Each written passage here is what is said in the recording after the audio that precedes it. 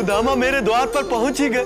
द्वारकाधीश में आरंभ होने जा रही है। सुदामा! सुदामा भक्त और भगवान की ऐसी गाथा। मेरे परम मित्र। जहाँ मिट गया सुदामा के जीवन का अंधकार।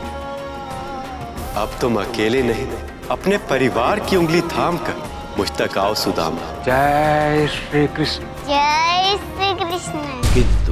जब पुनः लौटे सुदामा अपने द्वार सात जन्मों तक भी हमारी सेवा करेगी ना तब भी इसका मोल ना चुका पाएगी। बच चुका था सुशीला का अभिमान।